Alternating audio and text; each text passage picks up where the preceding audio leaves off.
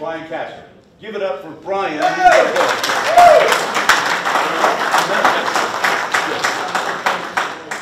Good morning, everyone.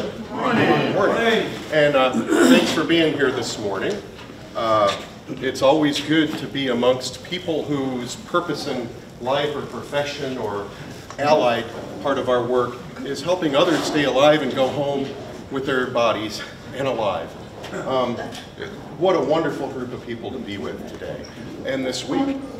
My involvement in emergency preparedness goes back a ways. Professionally, I'm an industrial hygienist. I study where the environment meets humans and can cause health issues or physical issues, create problems for us. I've done studies all over this country. I'm also an auditor, uh, an ISO 14001 auditor. I've audited inside and outside the country. And I, I owned an NIH company that was responsible for all federal agency headquarters in DC uh, when 911 happened.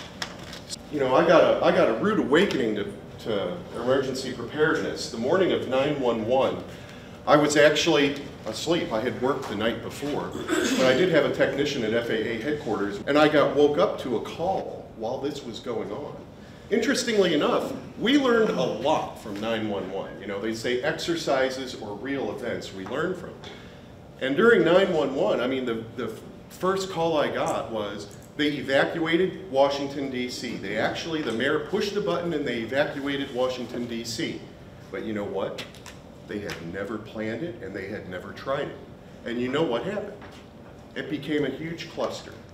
The technician that was doing air monitoring at FAA headquarters got his car out from a multi-underground, you know, they got all these underground parking lots at the agencies and stuff, got his car out onto the street to evacuate and hurried up and sat there for six hours because nobody could move. No one ever thought of that before. What are we going to do if we hit the evacuate button? What's going to happen? Well, we found out in DC what happens. Everybody just goes nowhere. And it creates more of a problem because now your emergency responders can't get anywhere. Right? Now let's do a cascade effect. What else happened on 911? Not only did we have transportation problems, not only did we have people in the way of everything that we needed done, not only did we have an overwhelming wave of volunteers show up to the Pentagon, you know, they had to set up crews just to keep volunteers away. So many people were trying to get down there and help. Um, and what about communication? Let's not forget about the communication that took place on 911. There was almost none. The radio systems went down, every form of communication pretty much went down. People were using messengers to go back and forth. If it was an important message, it was, it was a messenger running it for a while there. So, you know, emergency preparedness, you know, we, uh, uh, we like to think of it and, you know, we practice it in our, in our workplace. Um, we, we, we take it seriously, but there's always something to learn. We're always going to learn, no matter whether it's an actual event or it's a exercise, we're going to learn something.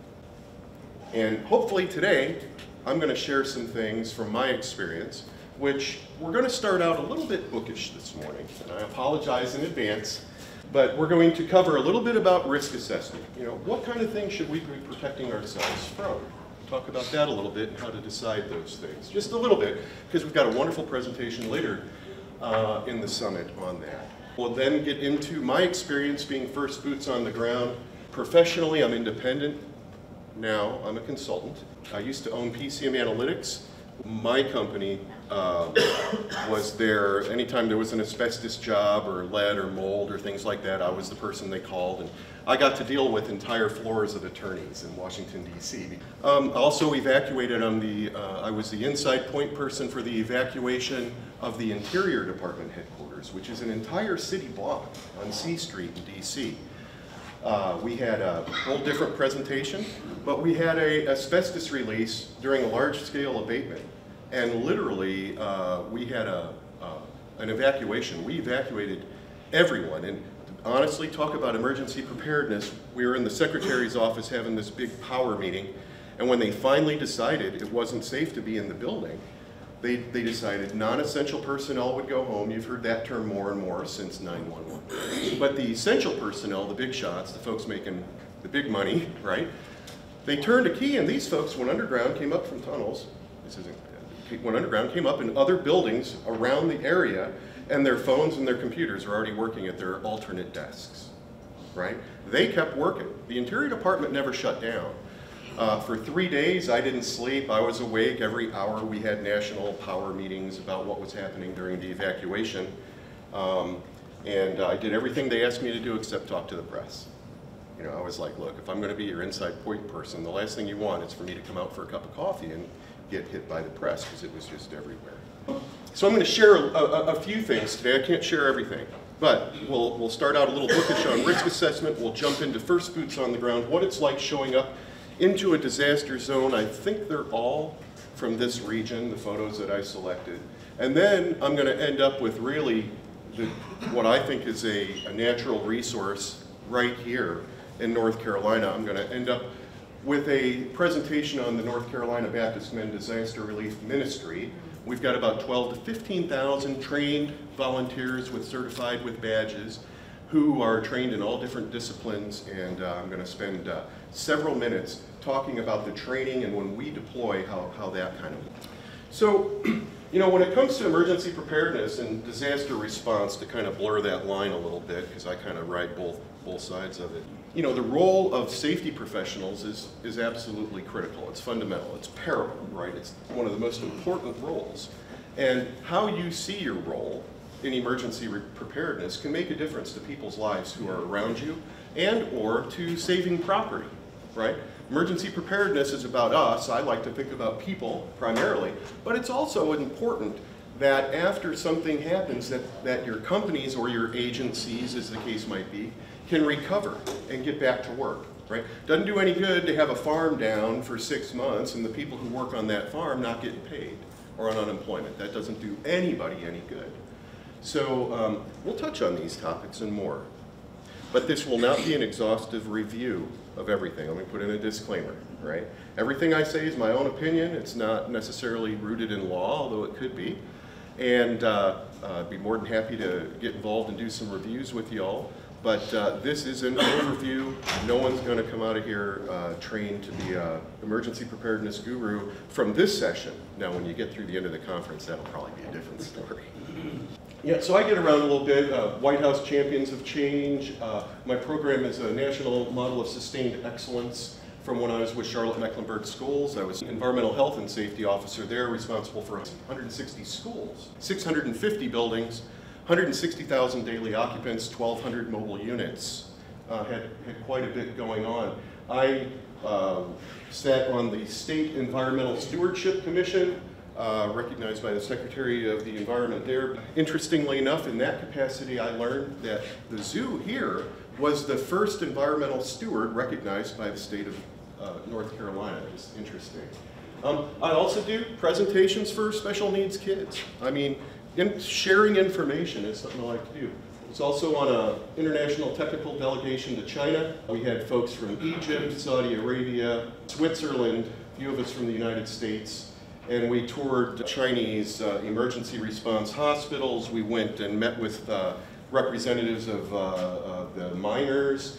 Uh, we went to the Hong Kong University. We went to the Department of Labor in Hong Kong. And we talked a lot about sharing, right? The stuff that you all do. We were sharing and exchanging that with Chinese company and government leadership um, and it was a really interesting experience to see how their approach, right? Um, again, different presentation, but when we went through a linen mill, for instance, you know, can you imagine the machine guarding they had in the linen mills? Anybody in here that works with machine guarding knows it's important. Well, they didn't have any machine guarding, and we watched people just sticking their hands like the old movies you see, like when there was child labor in this country, just reaching right in the machines, right? Um, Safety is something we take serious here uh, in America. Today's objectives, I'd like to provide you an overview of emergency preparedness planning and response, a basic framework for emergency preparedness planning, and to foster a broader discussion. I'm not, the point of the presentation, I hope, is so that you all see some things, hear some things, and maybe some light bulbs go off that result in you talking to your boss, talking to your wife or husband, talking to your children, maybe talking to a, a- a legislator, maybe talking to the governor, I don't know, whoever you know. But I'm hoping that, that you receive something from this presentation um, of value. Down to basics, right? Most of us are in business in one way or another, whether it's government agency, private sector, schools, whatever it is. But the truth is, if we're not prepared, we're preparing to fail, right? That's a Ben Franklin quote. I'll come back to that. Um, after a natural disaster, right, a business that is not prepared, that doesn't have its contingency plan, of which emergency preparedness is important, 40% of small businesses won't open. I mean, just right off the bat. People just can't handle it, right? You, know, you think FEMA's coming writing checks to remake your business whole? No, they're not. They're going to come out and they're going to help some. But I have yet to find anybody that told me the success story, they hit the jackpot with FEMA. It doesn't happen that way, right? A year later, 25% more of the businesses will fail. And finally, after three years, 75% of businesses without a contingency plan will fail, and the sources are Ready Business Guide. Um, this is legitimate stuff, I'm not just pulling it out, and most of my stuff, the sources are on the slides for you. So the business case for preparedness is incredibly important. You know, like anything in safety, it's hard for us to show our bosses how many people didn't break a leg this week because of our work. It's, right? It's difficult. We got to come up with metrics. We got to come up with ways of proving that there's value to what we do. And uh, this is just absolutely important. Here's a fairly current slide as of January 30th of this year. the federal government had put $1.7 billion into funds for Hurricane Florence. Now that's just one storm. And that response is not complete. I'll have you know, when I responded to Florence, probably 13, 14 communities I helped out with, when I responded to Florence, there was still people recovering from Matthew, right? Lumberton. Let's talk about Lumberton, right? I mean, thousands and thousands and thousands and thousands of people, homes, businesses got wiped out, and we're still in recovery. Right? The more prepared we are, the less the impacts after a catastrophic event will be. Now, from an EHS perspective, and that's really what I'm asking you to do, look at whatever I'm putting up here through an environmental health and safety perspective, right? You know, in a disaster, routine stuff that's, that you're just used to being around can become projectiles, they, they, they can spill, they can cause all kinds of problems. You know, in the simple case of some drums, they might be, who knows what's in them. Take your pick, everybody in here has got some drums somewhere. But after a tornado, when those drums end up outside, if they're not properly labeled, depending on the circumstances, you could end up in a situation where hazardous or where emergency responder has to go to level A equipment to figure out what's going on with that drum that's really just full of wood chips or something. Who knows? It's very important. So kind of introducing the topic of the EHS role in emergency preparedness, I think HAZCOM is a great example. Just knowing, having an inventory of your chemicals. We heard it yesterday, I hope you hear it again. Don't keep your inventory in one place hanging on the wall in, you know, with your MSD book is great, but if that particular part of the plant's not here tomorrow, that book's not doing anybody any good, right? Have it stored, preferably in a uh, fireproof box, somewhere else so you have an alternate location to find them. You know, things as simple as lead paint, right? Lead paint's not really a disaster issue so much. However, unless you're the person with your face getting in it, or you're the person eating the lead dust or being exposed to it. Um, you know, people know, you know, alligatoring paint, when it's alligatoring, that's often a sign of lead, not necessarily. Red lead, folks think of red lead as being red, but truly it's orange. This was uh, from the Pentagon, that's about 70% lead right there. You would never think so. Um, know your stuff, know your stuff whatever it is that you specialize in, whether whatever it is, know your stuff.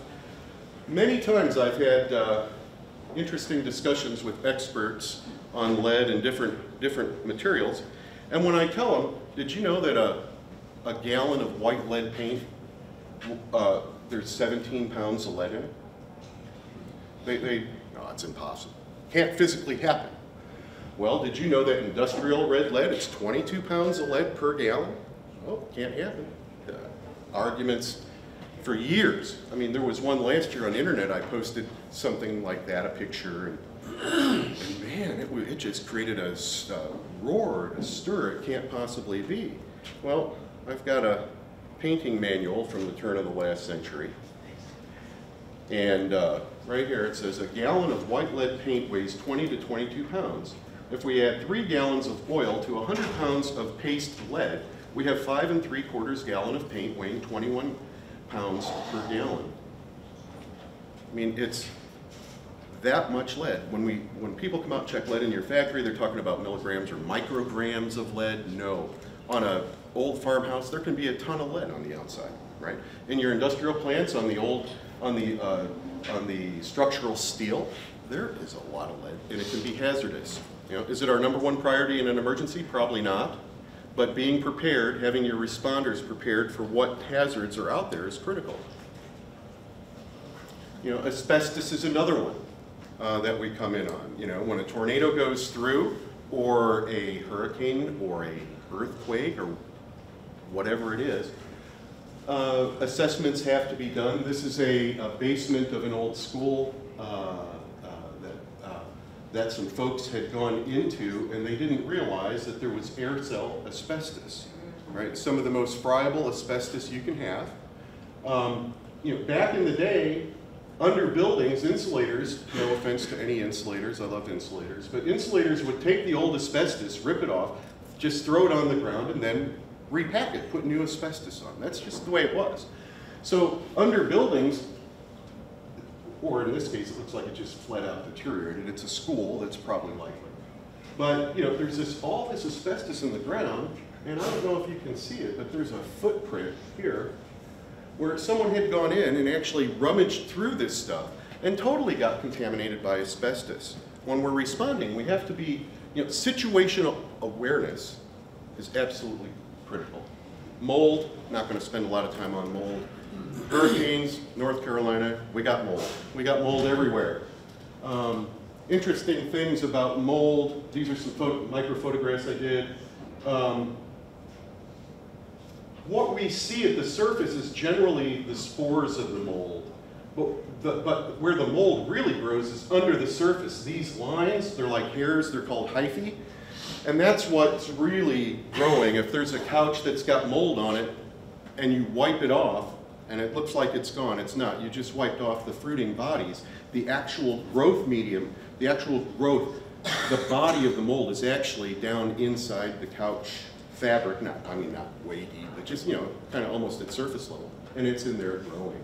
Something else to be aware of. Um, climate change. You know, I think we're beyond debating whether it's happening. People, most people, or political parties anyway, agree it's happening. The argument is why it's happening. I don't care why it's happening. I just want to know what it's going to do to me and what it's going to do to us, right? Um, you know, we can't deny the temperature data is not political. It's not skewed. It's not the kind of science that they buy. The thermostat tells you it. I mean, we are getting hotter. Hurricanes are becoming more intense and more frequent. Um, for example, in 2018, at least 224 locations around the world set all-time heat records. That's, that's not a Obama or Trump lie. That's not any, you know, it's not. That's just reality. You know, the temperature at the North Pole was 50 degrees hotter than normal back on February 25th, 2018. I mean, these things are real and they have impact on us. You know, some, some of the more closer to home maybe, pandemic flu, right? Pandemic flu. Right now, are we prepared for that? You, you, I watched the news last night. There's a lot of complaining. America is not prepared for another pandemic right now. And it looks like it's getting bad. I mean, China, the numbers are off the hook. I, I saw a map last night with like half the world. It's, it's, like, it's like Africa and South America are the only places that haven't been like hit significantly yet. It's coming. We are going to see a pandemic soon. What about active shooter? Right? Oh my gosh. right? When we think of emergencies or disasters, interchangeable words, if you, if you will, active shooter, that's a new one. We haven't seen, you know, when I was growing up in the 70s, whatever, we didn't have active shooters show up in schools. Today, it's almost, a, you could, you know, who's getting shot today? You could almost ask, right? Who is it? Who's going down? And there's lots of training for active shooter. Anybody had active shooter training in here yet? Yes. Yeah, yeah, yeah. My kids have had it. It's, it's, it's amazing. And what are we teaching? Right, right. Um, active shooter. Uh, run if you can. If you can't run, hide. And if you can't hide, fight. Thank you very much. Now you're prepared. Um, electric grid related losses. Want to talk about a business impact? Oh my gosh, billions and billions of dollars are lost every year because the grid goes down. What happens if the grid goes down and you've got a flood going and you've got, you know, 80 mile an hour winds coming through the area? And of course, fire loss. There are so many things that we could be prepared for. Bringing it again closer to home, here's an example of uh, my own house during Florence. Um, I was responding, uh, I think around New Bern at the time, and I got a phone call that the little stream, we've got a little stream maybe three feet wide and normally a couple inches deep. There's fish in the spring and stuff, but just a little bit. It had come up, basically become a 100 yard wide river, and uh, not only was the flood, it didn't get to the house, I'm up high, I built high, my dad taught me to build high. Um, but the water came up, and talk about a cascade effect. Not only was there a flood, a significant flood in the area, but when, but when the water gets saturated, particularly in this area, trees give out really easy. And I had about an 80 footer come down and literally land on my house. I mean, otherwise it looked like a healthy tree, but the root ball was almost nothing. So um, I've, I've, I've been hit myself. Now, don't worry about reading this, um, but the, the, the government has put together, the federal government, through the Strategic National Risk Assessment, which was conducted in 2011, they came up with high-level hazards. What are the most significant hazards that our nation faces? And they broke them up into three categories, which we'll talk again about in a little bit. But natural hazards, technological or accidental, and adversarial or human caused. Okay? You know, natural is obvious. You've got perhaps an animal disease outbreak, earthquakes, hurricanes. Here's one for you. Space weather, sunspots. Right, that's on our national preparedness list. Uh, tsunamis, volcanic eruptions. Technological could be biological food contamination that just happened because of uh, tech- technology. A dam failure. I've got some examples of dam failure later in the presentation. Radiological substance. Or how about adversarial human cyber attacks? Two of the firms I audited last year were hit by cyber attack. One pretty much lost everything. Uh, but they, they decided they weren't going to pay. It was called ransomware, right? Uh, one, they, they basically lost it and had to rebuild from their mirror sites or whatever. Uh, the other group paid, and what they got back was some of their data, but most of it was garbled garbage. We did not pay. City Right. Greenville did not pay. I don't blame you. I wouldn't. I don't think there's any value in paying. You never know what you're going to get. We rolled down two and a half weeks. we did not Be pay. prepared and have a backup. Um, but this will be, this is available uh, uh, in the presentation for later. Again, coming back to, to Ben, our friend Ben, visited his print shop a couple weeks ago on break, took the kids up to Philadelphia for a, for a trip. Uh, but anyway, by, by failing to prepare, we're preparing to fail. And it's, it's just, it makes so much sense, and it rings true to this day. But, you know, a, a, a question comes up with so many things to be prepared for, whether it's, you know, our drums, our chemicals, whether it's electrical outages, whether it's pandemics, who knows? How can we possibly be prepared for everything, right? And the answer is probably we can't. No one can be prepared for everything, but we can do some analysis. We can think about what might happen. You know, Ben took the time to think about it and realized, hey, it might be a good idea to have some buckets with water if there is a fire and have some people ready to throw that bucket on that fire. That was a That was a changing moment for our country. What I wanted to talk about Presidential Policy Directive Number 8, which is national preparedness. I'd like to ask, this is very important, please don't, if anybody knows President Trump, please don't tell President Trump that this was signed by Obama. We, we like this. This has done a lot of good for our country and for emergency responders, and we don't want to have to change our emergency preparedness plans if President Trump finds out that Obama signed this. So, okay. But our national preparedness goal is to secure a resilient nation with the capabilities required across the whole community to prevent, yeah, capabilities across the whole community. Preparedness, it's a whole community event. Most of us think of it in our compartment, in our department, in our employer. But preparedness is taking, uh, it's happening across your entire community. Your police are involved in it, your fire department's involved in it, your, your hospitals are deeply, deeply involved in it, your sporting arenas are involved in it. It's across the whole community to prevent, protect, mitigate, respond to, and recover from the threats and hazards that pose, here it is, the greatest risk, right? We can't, it's not possible to be protected against every potential risk. No one in here is, we're not, none of us are protected against everything, right? Anybody can get a cold from sitting next to somebody or whatever. But the greatest, right?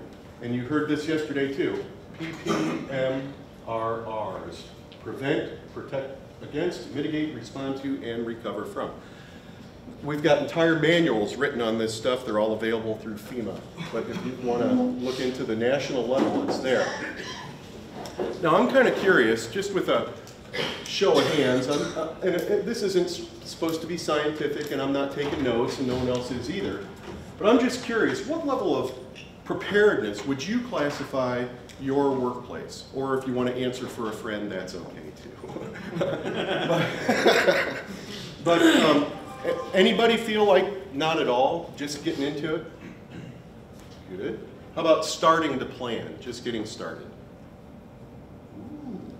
How about engaged in a planning program? Okay, yeah. Advanced preparedness? Oh yeah, that's what we like. I've heard some of the stories from people in this group. I know there's some fantastic programs. Be sure to be sure to chat during this. If you don't chat with each other, it's a real loss. Preparedness gurus? Okay, answering for a friend, I like that. That's great. So, okay, so we're pretty good, pretty rounded group, I think. Based on the national preparedness goal, preparedness has been defined, and you'll find this in the Comprehensive Preparedness Guide, version 2. Google it. You'll see that preparedness is defined as actions that involve a combination of planning, resources, training, exercises, and organizing to build, sustain, and improve operational capabilities. Wow. This is the bookish part I told you about. I'm going to get bookish for just a few slides. Please forgive me. I'll make up with some fun pictures.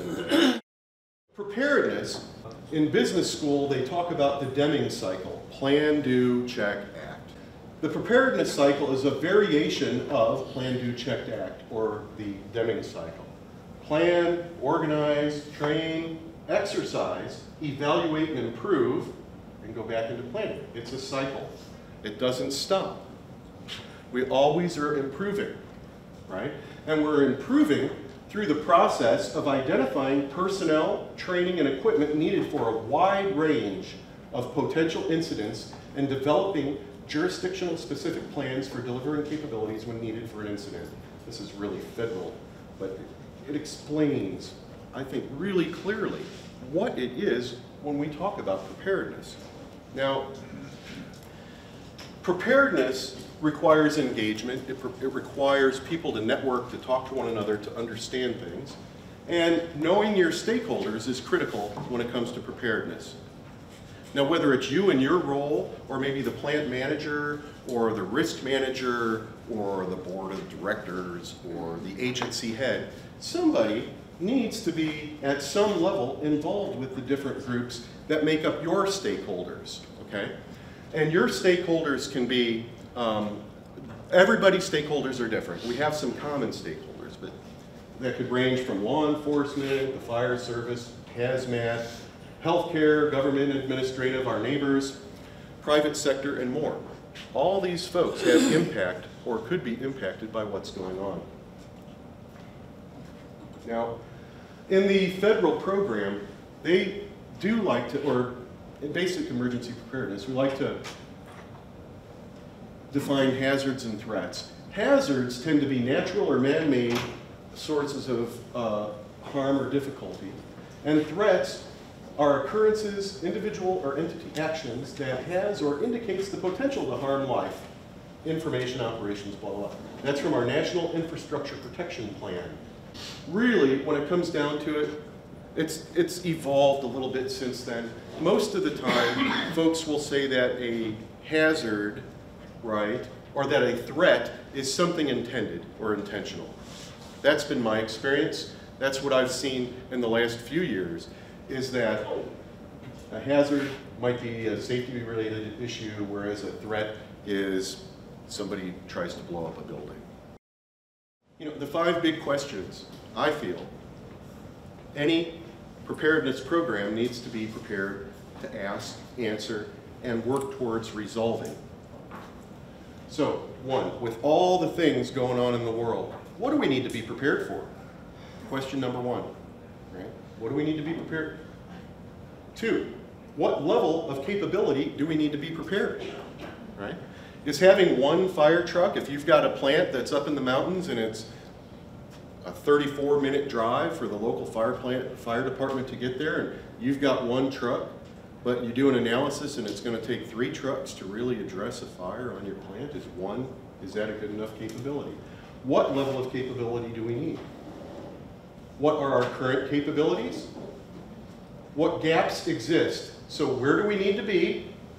Where are we? What is the gap between these two?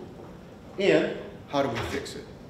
With so many, so many different types of things that we need to be prepared for.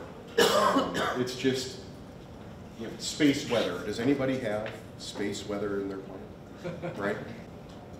So there's this equation. Don't worry about it. It can be written differently. It's done differently by different people. I picked one variation of it that I'm going to share um, for those who haven't seen something like this. But we try to prioritize what we're prepared for. Okay? Try to prioritize it. And the basic idea is you identify your threats and hazards. This can be done by plant, by geography, it could be done by department heads, supervisors, um, but you identify your threats and hazards. Now, you also have to talk about, you also identify your vulnerabilities. How vulnerable are you? How likely is it? Let's go back to space, right, space weather. How likely is it that space weather is going to, you know, knock us out? Should we be more worried about fire or more worried about space weather? And we'll get to that in a second. How bad is it going to be if what the threat is actually happens, right? So you do this equation, and that tells you your risk, how much risk there is. ReadyGov Business has this real nice example of how you can work through a hazard vulnerability and risk assessment to identify those areas or those things that you would like to be protected against, okay? Or you would like to be prepared for, let me put it differently, right? So in this column, we'll list those, all those different items. And again, it could be by plant, it could be by building number, it could be by shop or work group. There's a, every, every company can do it the way that works best for them. There's no one size fits all. Then we go through and we kind of do a, an analysis. How probable is it? You know, uh, will it impact people? Will it hurt property? Will it impact our operations? Are we going to have to shut down? Um, you, you know, and, and we ultimately end up with a ranking, which I should have. And so just to work through this, and this is just one way of doing it, you can use the form any way you want. One example I put on here, we started, these are the main plant, a tank farm, and an administrative building, right? So for the hazards, uh, hazard, tornadoes or a power out, space junk, right? Believe it or not, space junk is listed out there as well.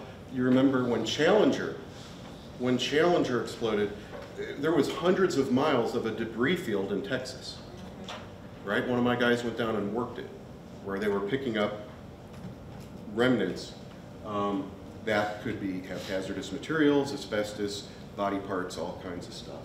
So anyway, so I went through and just worked through this little equation with medium, with low being one, medium being two, and um, high being three, and did the math, and came out with tornado is more risky than uh, space junk hitting our tank farm, for instance. So you can do this, and I'm not, I'm not doing a full course. There will be more discussion on this as we, as we go through the uh, summit.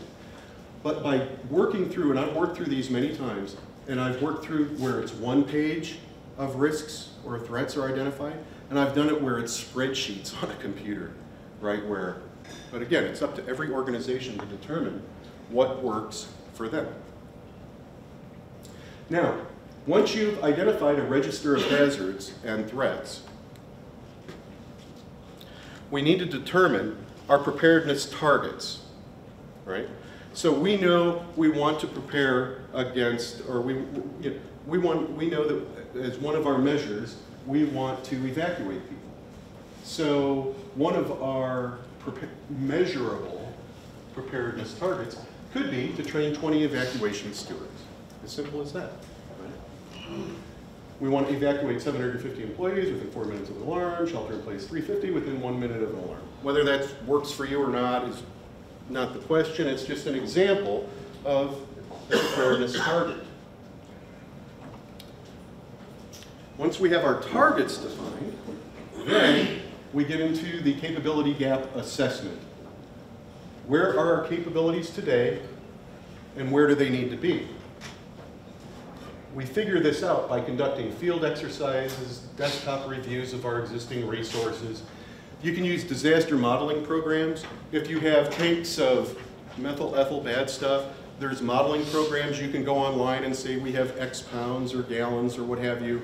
And if, it, if something traumatic happens, how big will the plume be, depending on weather, these types of things. You can do modeling to figure out how extensive it's going to be so that you can know what you need to do to be prepared. So a capability gap assessment is identifying your targets, where you want to be, subtracting out where you already are. So for example, we might want a total of 24 fire stewards to guide our evacuation. Well, right now, we only have four. So our gap would be 20 stewards, right? So, right, so based on our capability gap assessment, and I know this is a lot of words, I'm covering a lot of ground, I could, we could spend all day. We could spend a four-day class just talking about, you know, capabilities and gap assessments and all that. I'm trying to crunch it quick because I'm hoping if, it'll, it'll spark with someone and, you know, two years from now, you'll be making these great presentations on your program. But this is where our resource requests would come in, our capability gaps. If we know that we need 20 stewards, or if we know that we need another tanker truck, or if we know that we have a gap between where we want to be to protect our business, our, our, our home, our school, our property, right? This is where the resource request comes in, where we can write up a budget request and ask for help. And when I say budget request, it's not always just, you know, internal. FEMA does have, there are grants out there. Many, most of the municipalities are tapping deeply into FEMA grants. But to get those grants, they're going through a procedure very similar to this to identify what those needs are. And I think we can apply the same process to our own budgeting. Uh, you know, back up your requests. Show them why you need the 20 extra people trained. Show them why. Has anybody engaged in a capability gap? Have you, is that something you've been doing in your programs? No? Well, how do you, and so the question becomes, you've got this well-defined plan on paper. How do you know it's going to get you where you need to be, right? You conduct exercises and all that, and I guess if you're on the mark, you're on the mark, but we can't be prepared for everything. There's always, there's always something out there that we can improve on. So, apologize for that, that was my bookish part, okay? Uh, I just felt it was important to share that information. Now, getting into a disaster zone. You- wake up, you get the phone call, 911 just happened, or your variation of that with your employer, your work. You know, getting, getting to work or getting in to respond is a big deal. It can be a very big deal. Um, this photograph on the top right, uh, that's the road that made me decide I'm not driving at night into disaster zones. Um, I got a call, uh, 13 communities underwater, uh, need you to get up there and do assessments so we can mobilize resources. Uh, left, got up there, the rain had stopped, uh, but my GPS was a little bit funky and, and it was up in the mountains and I ended up, I ended up on some interesting roads and I'll tell you, I rolled my window down, I'm driving in the truck, man, the river just sounded so loud, you know, the river running by the, by the road there. And it wasn't until the next day that I, you know, that, that I had learned that basically half the road had washed away that night. Um, you know, I'm very grateful and thankful that it, I wasn't there when it happened. Um, or, you know, if your plant is on the other side and there's only, this is the only way to get in, either you're going to the other side of the mountain and coming in the back way if you can, if there is such a way. Or your emergency preparedness plan on, on the large scale, not the micro scale, might require having some boats lined up, right? If, if, if it floods between you and where you gotta be, your plant, uh, boats might be essential. It might, it might, you know, you might not need to have them on hand, but you might want to have a vendor on file who you can call in an emergency situation, get some boats over there, for whatever purpose. Um, here's an example where across the street there was a, a big lumber yard, and you can see all the, you know, the whole lumber, all the, all the raw wood, not a lumber yard, a mill, big mill, right? All the trees just lifted up, went across the river and landed in this guy's yard, took out his road. And I had mentioned dams. You know, when we think of dams, traditionally we'll think of the big, big, huge dams, uh, maybe Duke Energy dams or dams along the river system. But there's thousands and thousands of smaller dams. Uh, farmers have put them in, for instance, or small communities will have, you know, their little pond is like a feature, it might be six inches deep, but it looks nice, that kind of stuff. Um, they, they wash out regularly. Um, I'll have some more about that in a little bit. Now, um, this one, this was West Virginia, thousand year rain event. By the way, I've responded to something like 3,000 year rain events in just the last couple of years in this region. I mean, this, you know, this climate change political thing, I think, is different than the reality of what we, you know, put that to the side. Uh, Florence and Matthew, right, back to back. Dorian. These are just devastating storms. We haven't seen stuff like. Now, this was just a thousand year rain event. It wasn't a hurricane, right? Um, the orange mark here is showing that the car's been checked. Uh, there's no one dead in the car. Uh, there's one of the houses, I think, you might see it, might be another photograph, there's, here, it might be here. Um, you know, folks, there's a crew that'll go through looking for people, you know, just to, to rescue and we'll mark vehicles just in case so we don't have to duplicate efforts. But you know, your trucks, you know, that truck's not going to work today, right? Uh, can you imagine? I mean, I, I do not know the story. I just know what I saw, right? Where did that person go? Who's looking out for the special needs folks? Who's looking out for the people in the senior communities, where some of us will be someday, some of our parents, maybe some of us are there now, I don't know. But you know what happened, uh, it was in Florida, I forget which storm it was, maybe, I don't remember. But, you know, folks in the old folks just got left, and several of them died, they just, the flood. But getting to work is, in, is, is incredible, it, it's difficult. How are you gonna do it? You need to be prepared. Sitting at home, if your role is being part of the emergency response team for your agency or your uh, plant, your school, what have you, it's not going to do much good to call in and say, well, I can't get in because, you know, I got a six-foot gap in the road. We've got to think about these things. How do you do it? You might have to drive an extra 60 miles to get two miles, and I've done it. I've done. I've driven around mountains. I've uh, I've driven around back back through you know just like cow paths, you know, believe it or not, to try to get into some of these places.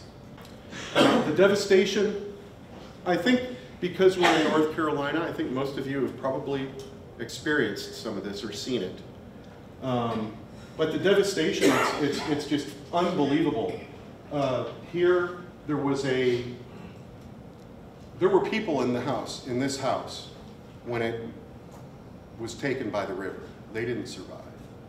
Um, you know, uh, I don't know what to say. I, you know, the EHS aspects to this are incredible. You know, everyone in here could write a paper or write a report or take some pictures and put a report together about all the hazards of any one of these pictures. The hazards are just phenomenal. And it makes our trade that much more valuable. You know, whether you're an emergency responder or not, you're in the safety field, you know things, you have experience, you've read things, you've said in meetings like this that other people don't get it, they don't understand. So, you know, our profession is, inc- you know, and you might be called to step up at some point. You might be called to step up and go outside your comfort zone. Uh, be safe when you do it, and um, but understand everybody's going to need help when these things happen. Uh, fires break out a lot of times. Uh, I've seen a bunch of, you know, huge rain just went through, and then you got your gas station burned down, or you know, catastrophic failure of structures. That's also something that we worry about. Uh, you know, when that barn went down, not only not only did the barn go down, but now you you could be talking a few hundred thousand chickens dead floating down the river, and that happened, right? We had thousands and thousands of hogs that were killed uh, in Florence, Matthew, you name it, uh, and they become carcasses and become health and safety related issues. You, you just never know what you're going to run into. This is silt that was deposited by a flood. Uh, the river, uh, the culvert, or the bridge, right, the, a bunch of debris blocked where the water would go under this bridge. It created a dam. And so the entire river, this town, became the river. And about a foot and a half or more of silt was deposited. Um, when I got there, uh, people had already, well, this is a few days in, but at this particular spot, the postmaster was in there. She's, the postmaster was trained. They're trained if, if, if there's a, a moisture event coming, they're to take all the mail they can, get it as high as they can, and then get out. Well, thousand square foot little, little tiny post office, she noticed water at her ankles. She said, a thousand foot now, we're talking maybe 10, 10 bales of mail or something, right? Before she could get it all up, she was chest high in water. The fire department had to come her, get her out of there with a boat. Um, you know, how, do you, how do you prepare? Now, that's not the worst, oh, I'm sorry. That's not the worst of it. Um, upstream in the river of this particular town, there's a lot of uh, what I call industrial agriculture, large scale farming, lots and lots of animals in a little bit of area. Well, when, when sewage ponds, is there a better name for that? I can think of a few, but I'm not going to use them. Waste lagoons. Waste, yeah. So, manure, yeah. The truth is, this sludge, people there, they weren't thinking about it. I grew up on a little horse farm. I know what manure smells like. I moved enough of it myself, okay?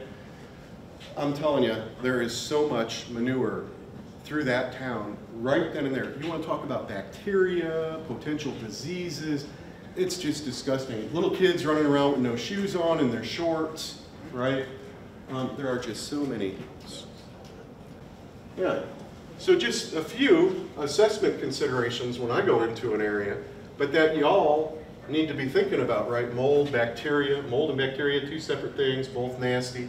Asbestos, carcasses, animal or human, right?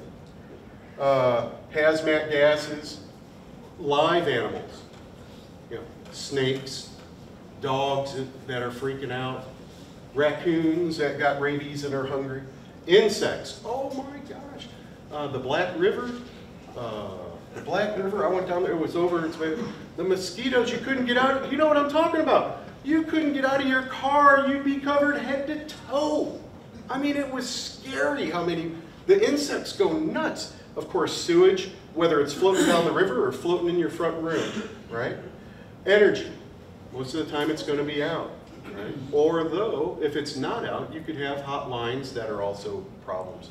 Again, structural issues. Gas stations themselves have millions of large-scale farming chemical plants, storage, road. I mean, the list this group, I mean, we could spend all day, all of us, and not list all the hazards, right, that are in this world today.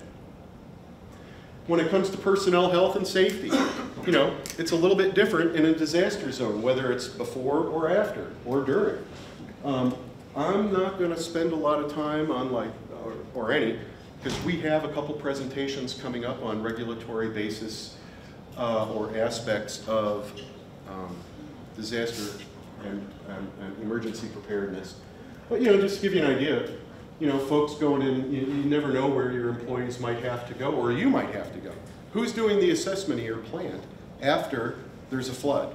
Who's going to go into these areas? Who's going to determine if that? Who's going to check the confined spaces? Right? Who's going to take the gas meter? Who's got the gas meter? Who did anybody calibrate the gas meter? Right? Not going to do you much good if you haven't calibrated your equipment and you go out and use it. You could be putting somebody to their death. You know that. Don't need to get a little preachy. You know, the mold starts to grow within 24 hours. Uh, you got people uh, tarping roofs that might not be used to doing that kind of work who could get hurt. Uh, again, floods, um, swift water rescue, right? Don't know if anybody's involved in that, but there's another aspect to deal with. Again, electrical lines down, you know, these can be hazards, whether it's inside, outside, on the road.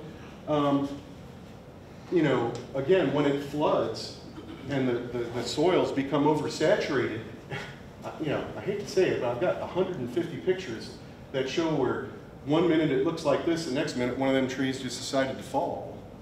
You know, there's a hazard.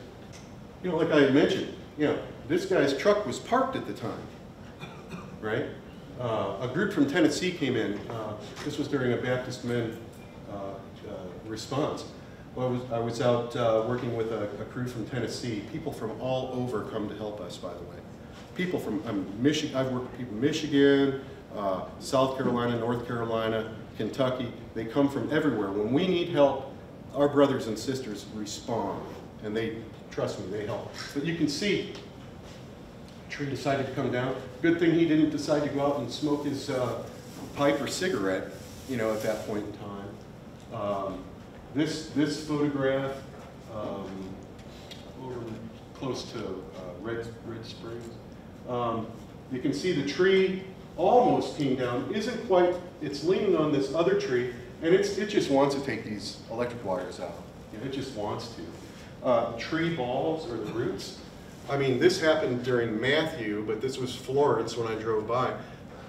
This is not a optical illusion, right? The tree ball is bigger, or the root ball, is bigger than the house.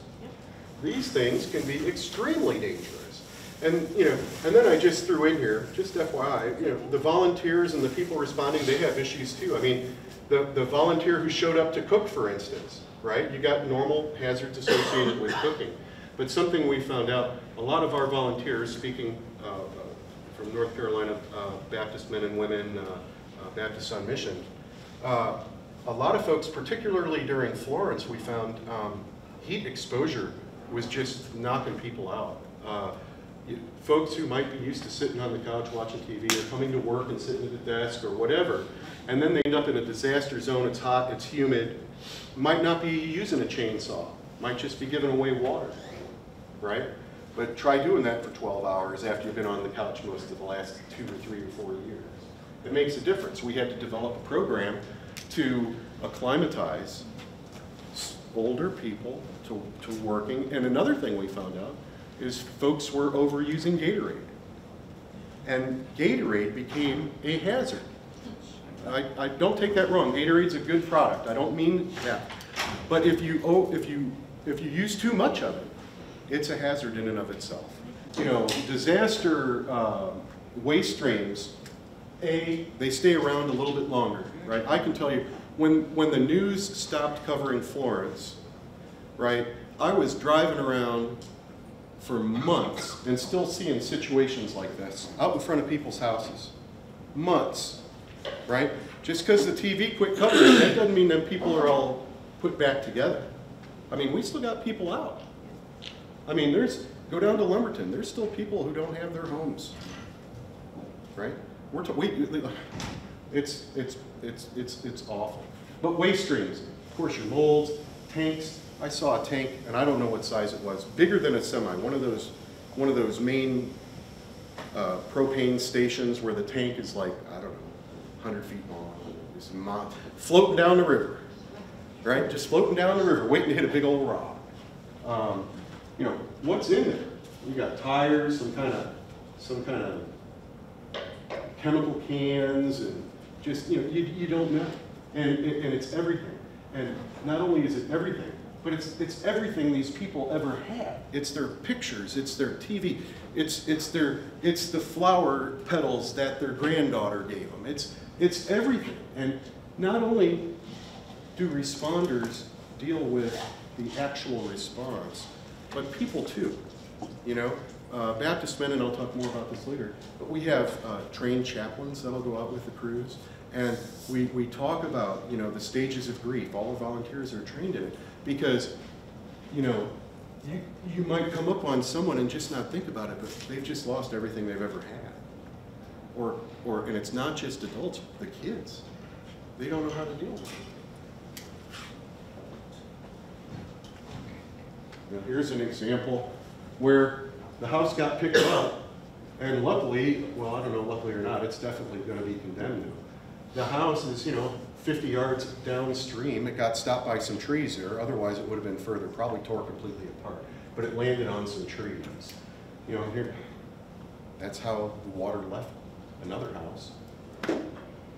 Um, You know, so communities, when we think about emergency preparedness, we think about our immediate role as safety and health, as risk managers, as environmental, as, as, as moms and dads, whatever it is, we think of our immediate role. But really, we're preparing, what we're doing right now is part of a much larger program that's happening all over the United States of America at many different levels. I think North Carolina is probably more advanced, especially now with the MESH program. The EP MESH is, uh, I think, uh, something that's, that's going to be very well received all over this state. Uh, we need more people that go through that program and uh, are ready to help their local communities and their employers uh, get ready uh, to minimize. We can't, we can't stop the hazards, but we can sure minimize the impacts that they have on us. I got two more hours? Three? Can I hear three? I will stay Sure. I'm going to switch gears and talk about North Carolina Baptist Men Disaster Relief. I came into the Carolinas uh, 2005. I, uh, I closed my corporation in DC, came here to, uh, I got married, had my first child, and I came, I chose, my wife and I chose North Carolina to raise our children. Uh, we weren't going to do it in DC. I can guarantee you that. Um, and that's a whole nother presentation. or after a couple beers, right? but oh, the stories of DC. Um, but soon after getting here, I, I was recruited uh, by Carl Collins, who's the director or the leader of our safety team. And uh, I met Carl when I was with the school district, um, Charlotte Mecklenburg Schools. And uh, Carl asked me to help get involved uh, and, and serve as um, environmental subject matter expert for the safety team. And I've grown uh, from that role, I've grown into a full member of the safety team and, and, and get out every year and that kind of good stuff. But, um, so I've been involved for a while, not as much as I'd like to be, but I'm getting back more. But North Carolina Baptist men, uh, and it's not just men, it's men and women, and when it comes to disaster response, it's not just Baptist. All right? I mean, it's people with big hearts. I mean, I've worked with, through North Carolina Baptist men, I've worked with doctors. I've worked with people who were a mission. Uh, my Sunday school teacher was a missionary who spent uh, 12 years in Africa. He's a surgeon. Did like literally thousands of operations in Africa as a missionary. There's so many good people.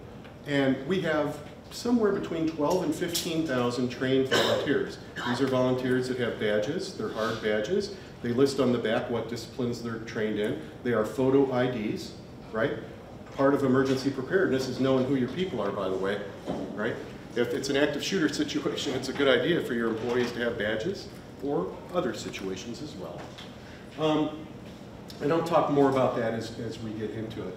But just as one example of the, the level of work uh, that North Carolina Congressmen do, we served a thousand, and this, I pulled this last night, we served a thousand and one million, 57,000 hot meals uh, during Florence. And we're still, by the way, we're still cooking meals for, for responders today. Uh, we're not doing the, we're not sending out meals to shelters and things like that, but we are still cooking uh, in response to Florence. We did 5,800 recovery jobs. 5,800, okay? That means we rolled up maybe with a skid steer and a crew with a, uh, uh, a trailer full of chainsaws, got, got, went out to somebody's house, cut the tree off it, got it out, got it out of the way, got it cut up, raked up the yard, left it nice and clean, you know, did some praying, um, uh, all kinds of good stuff. Um, and to do this, we network with various organizations. I'm going to go through a quick rundown of our system, but we do network with uh, American Red Cross, is right. A lot of times when we're feeding, Red Cross brings the food in, we cook it, and then they'll help distribute it, we'll distribute it. We'll work with uh, Salvation Army. Uh, we have a seat at the emergency management table in Raleigh. When stuff is going down, you'll see a, a Baptist uh, leader to help mobilize and get things rolling. And, uh, okay, let me just keep going here. Now, North Carolina Baptist Men, we do use uh, the ICS system, Incident Command, okay? And we implement our Incident Command routinely. Uh, we have five trainings every year. The state is divided up into 10 regions, and we will do the odd number regions one year and the even number regions another year. So we're doing trainings, uh, we train uh, you know, just hundreds, if not thousands, thousands of people every year in disaster response. It could be all, all the different disciplines, which I'll talk to a little bit more later. My role will typically be safety officer, whether it's at a training or at a um, live actual event. But we do break it up into ICS. Part of our trainings, we're not just doing the trainings for the students, right, for the volunteers. We're doing the trainings to test our own ICS system, right? And it rotates. It's not the same incident commander every time, right? Somebody else. So we rotate who the incident commander is, who plays all the different roles, you know, who's in charge, and who's doing logistics. We rotate it, and we test our system five times a year. Any deployments are in addition to that.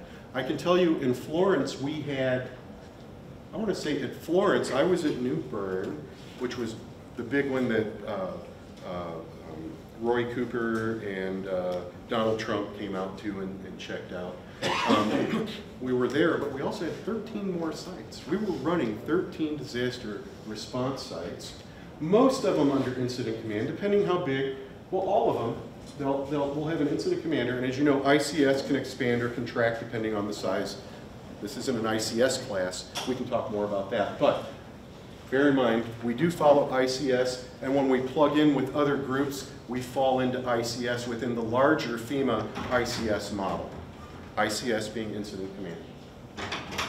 Now, uh, whether we're going out to a uh, cleanup event, a disaster relief event, or a training, right, we'll have our planning meeting. First planning meeting, we'll sit down, we operate out of churches, we do our trainings at churches. We'll sit down with the local staff, we'll talk about their emergency response plans, we'll talk, we'll meet with the local fire marshal to discuss uh, what uh, the fire marshal would like to see because basically we're turning a temporary, a, a, a temporary occupancy, a church situation into a housing situation wherever we go. So we have to be worried about fire alarms, uh, smoke alarms, Where's the electrical? Where, where are the, uh, where, where's the water access? Where can we uh, have sewer, sewage access, things like that?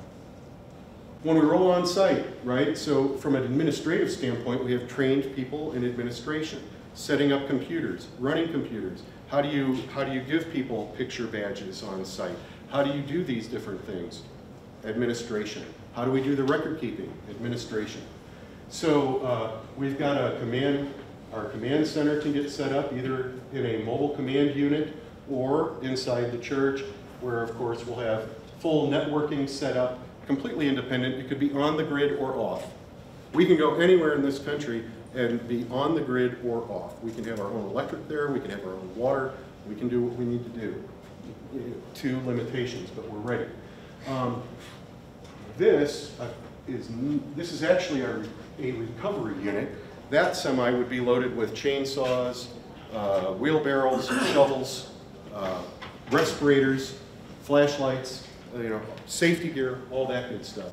Once our trainings start, we have an orientation. We give a background on North Carolina Baptist Men. We talk about stress management.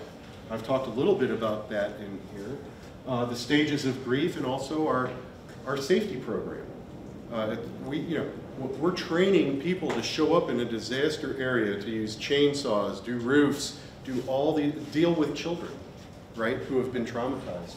Uh, we go through all, all, all these things. And you can see the magnitude. Uh, people respond, and you know, there's only one per paid person out of the entire group. We got 12 to 15,000 volunteers. We got leaders. We got incident commanders. We got doctors. We got uh, kids, uh, uh, meaning younger people. We got, uh, you know, just people from all walks of life are volunteers, and one there's only one paid person, right? And that, that's just to keep the ball rolling. After orientation, we go into our classroom training. Um, by the way, our EAP, our Emergency Action Plan, is discussed at orientation, and it's posted in all the classrooms, and it's posted like at the dining hall. It's posted anywhere our students might be. There's an EAP posted at eye level in sight of the direction that they're heading.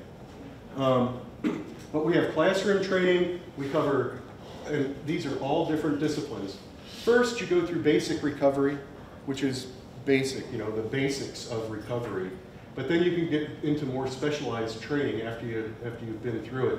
Whether it's administration, logistics, communications, mass feeding, recovery, chaplaincy, childcare, laundry, and more.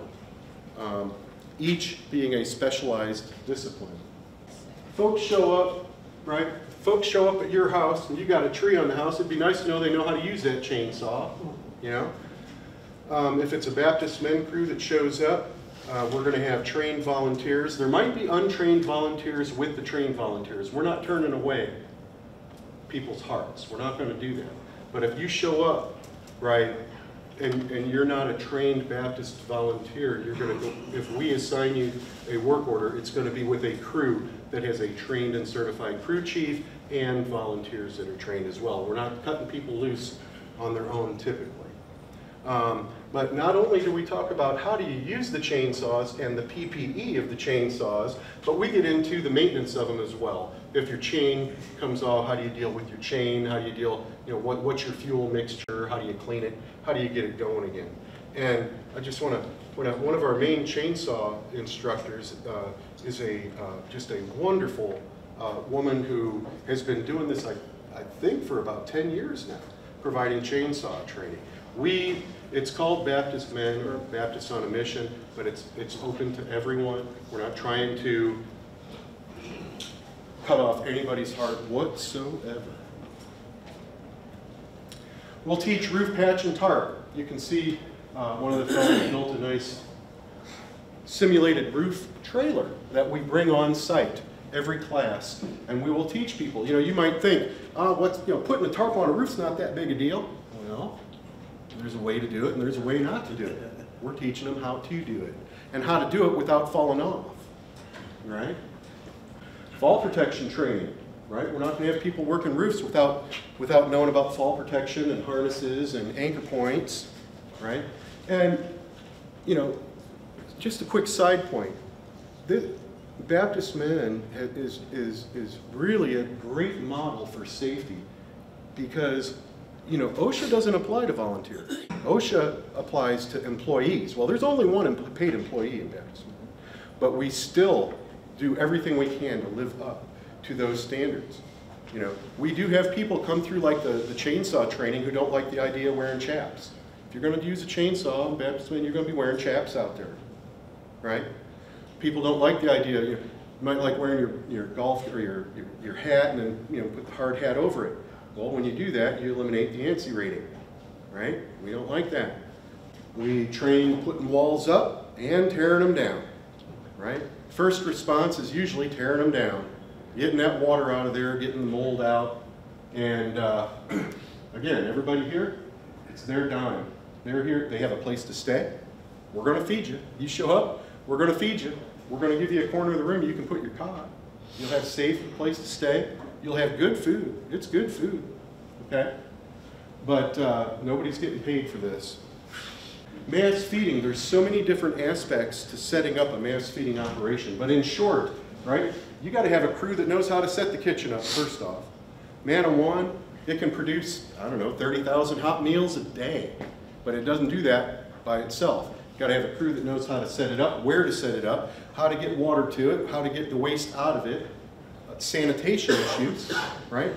Just because we're doing an emergency response kitchen doesn't mean the health department doesn't want to know that we're using clean water. The health department will come out and check us. And we welcome that. We appreciate that. Um, but there's also, of course, serving, cooking, and I did mention sanitation. There's so many things. Here on the left are actual, this is uh, in New Bern, the uh, line of folks coming in all day long. Cars coming in all day long. No restaurants open, right?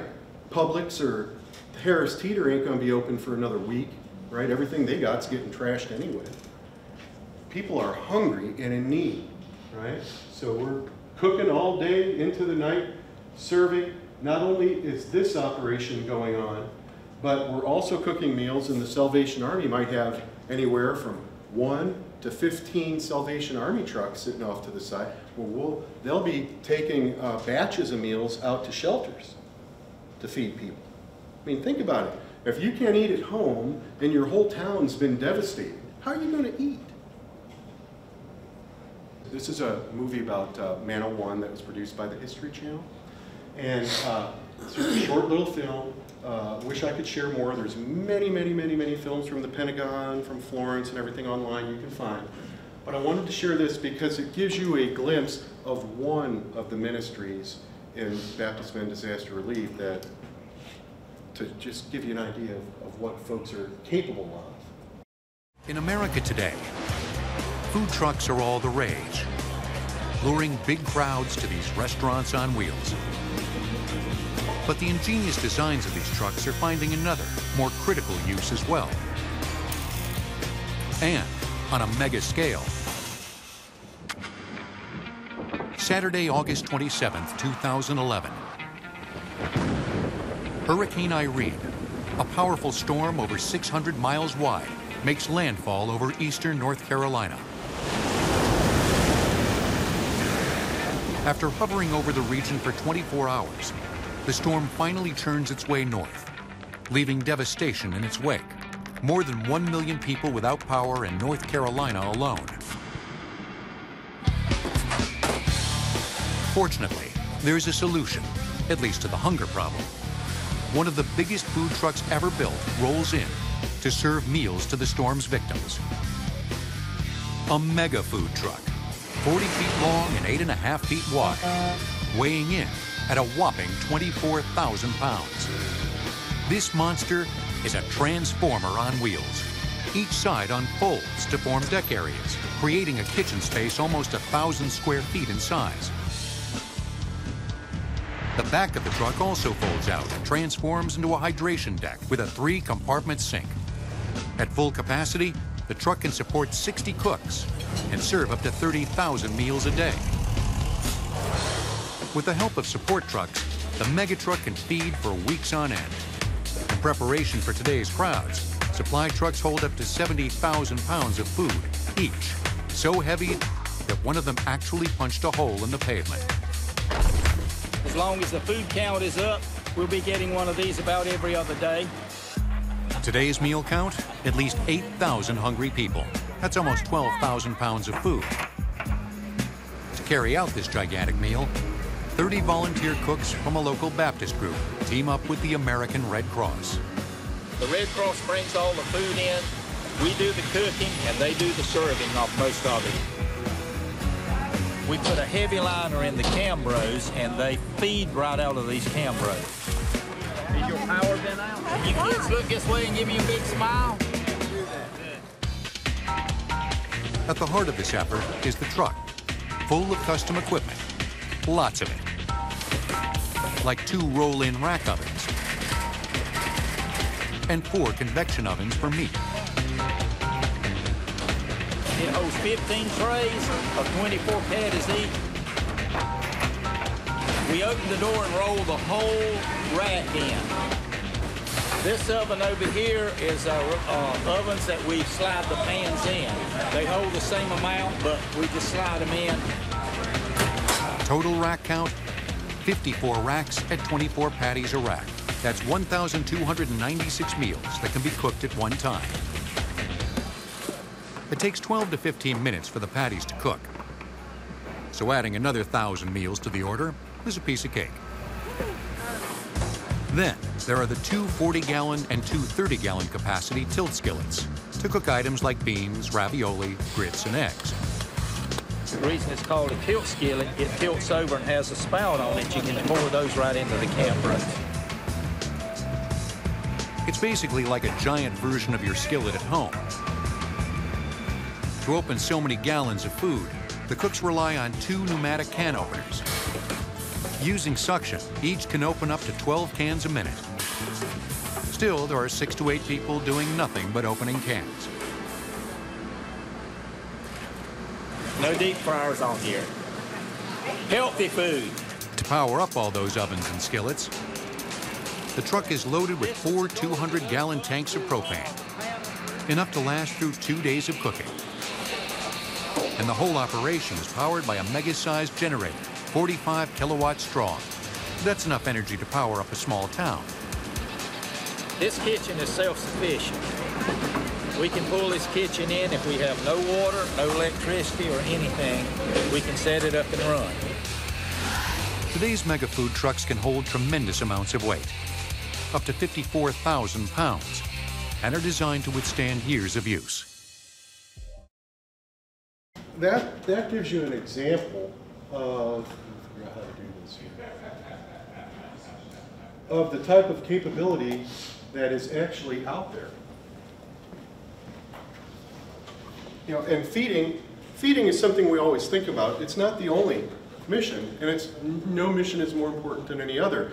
But, you know, I can tell you, for instance, uh, I've worked closely with uh, our shower mission. We've got trailers set up as portable showers, right? Think about it. Just being able to take a shower after going through something that you don't want to think about right now. Just being able to take a shower. We've got a laundry, right? We've got a laundry ministry. Rolls up, we can do people's laundry for them, and do. Can you imagine just being able to put on a fresh t-shirt? How important that is under these situations?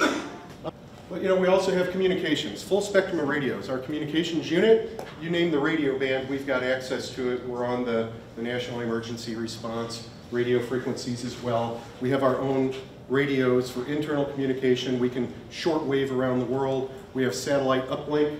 If you go through the communication training, you're trained how to set up a satellite uplink. So we can, we can independently uh, communicate via telephone and also we can like do a whole campus of Wi-Fi, right? We can set up our own systems. And again, this is with power out and everything. It's basically in ground zero. We do forklift training. You don't think of get out of here without emphasizing that, right?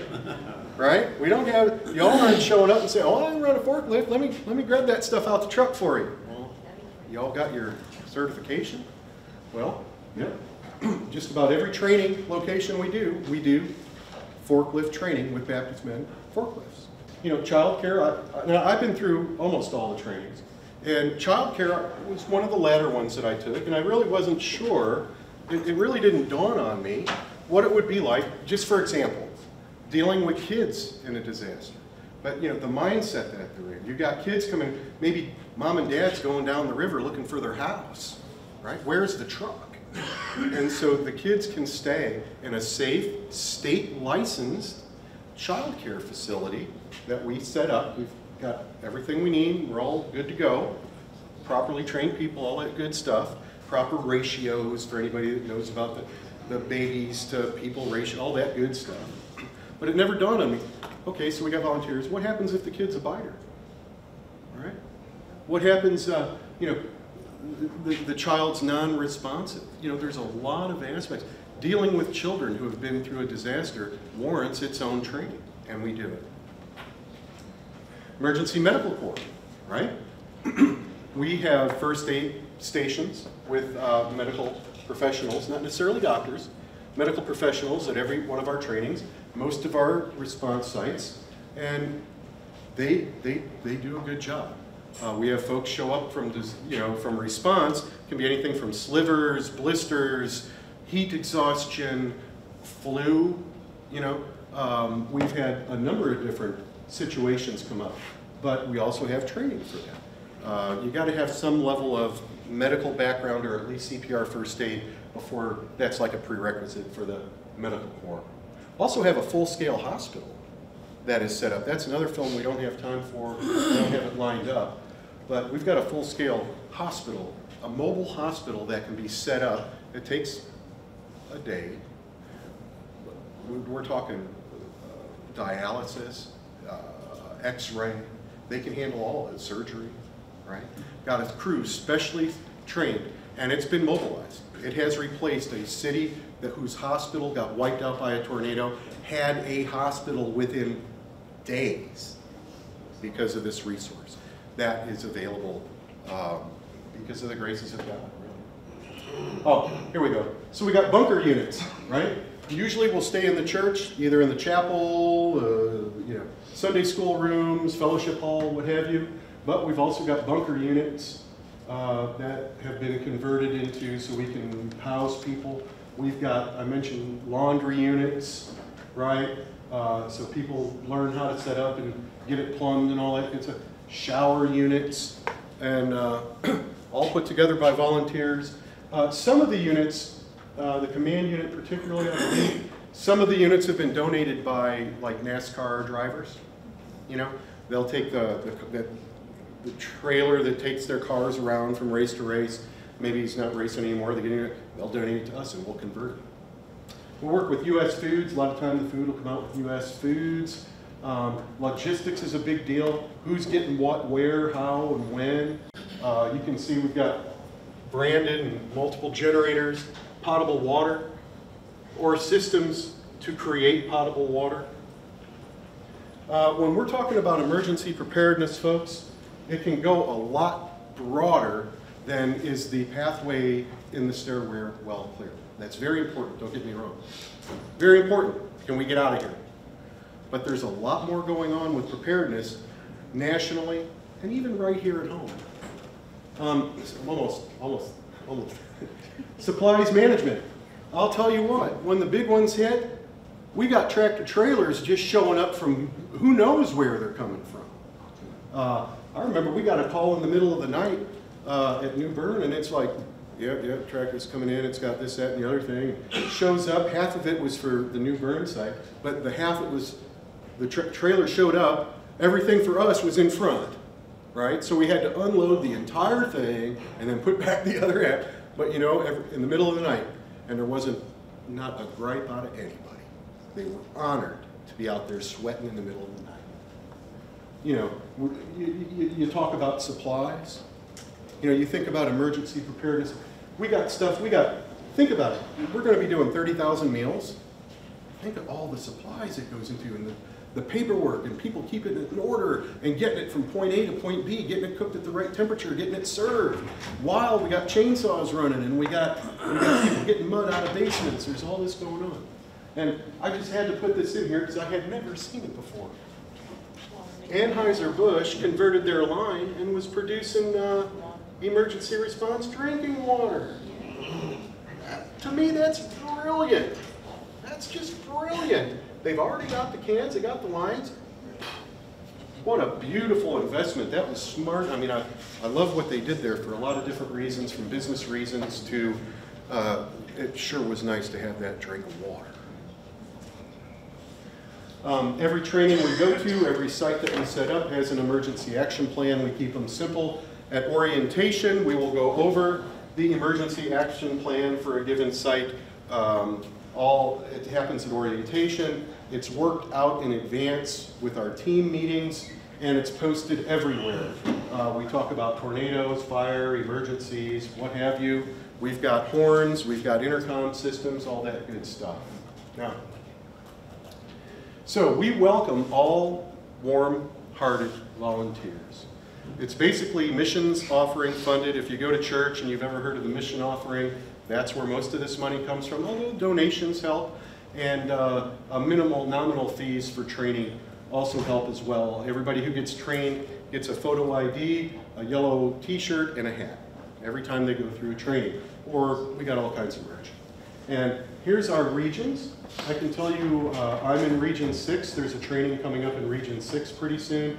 I'm going to be safety officer at Region 10 uh, out, out towards Murphy later, later this spring. And uh, it's, a, it's a very good, good program. If anybody would, would be interested in getting involved, we'd welcome you and love to see you. Um, and I put together just a short list of resources related to this program, whether it's the Safety and Health Council, uh, North Carolina Emergency Management, North Carolina Baptist Men, Texas A&M Engineering Extension Service has a lot of information I've been training through, and also our Southeast OSHA Training Institute, and more. Uh, that being said, that's pretty much my presentation for this morning. Um, I wanted to cover a little bit about risk management. How do you determine what are you going to be protected for? If you haven't thought through all the different things, maybe it's a good time to bring it up. If it's not your role, that's okay. You know, talk about it over lunch sometime. The boss might get an idea. Or if you're the boss, hey, maybe you want to form a committee. Um, but think about some of these things. I'm hoping that uh, either the risk management aspects or the disaster response aspects or the Baptist men and women aspects, I'm hoping somehow that this information will better prepare you to be prepared. And I hope all of you will think about sharing some of the information you get here with your friends, family, relatives, folks at work, and, uh, you know, hey, the waitress at the bar too, you know, as far as I'm concerned, or waiter, whatever. But emergency preparedness is about all of us. It's about our nation. It's about our families. And uh, uh, thank you so much for being here today. Uh, and I'm, I'm very proud to be part of this group. Thank you so much.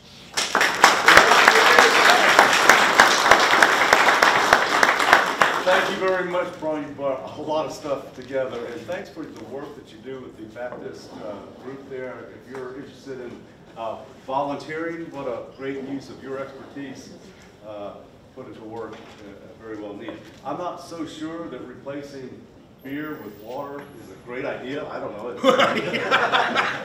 Doesn't seem like a good idea We can debate that It one. just went the opposite direction. They turned the water into wine. Why would you change beer into water? That's wrong. Break time, ten thirty back for next session, okay? Then we got a long period of time for lunch, hour and a half, so. Take a break. See you in a minute.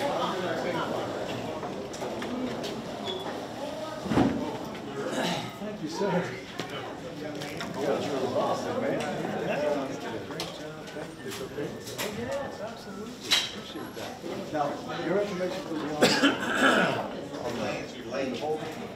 I'll put it there. I'll put it there. I got a PDF of it. Glad to see you incorporate the Baptist community. Well, thank you. Train into the Baptist. Which church? Did you go for a church? Yeah, from, Richmond Baptist in Faith. Oh, okay. So I went down with, I went, I went. Is it Salt River? Salt River Baptist is Well, that's where I had my last training. Chris Thompson is there. Yeah, But that's not the church. My church is like four miles down the road. okay. Oh, yeah, I had my last training there. I was there. I was there. Yeah, I was there. That's awesome. Thank you. Have you been able to get out? I went down for a match and down the wind. Of course, they got this out here for barns.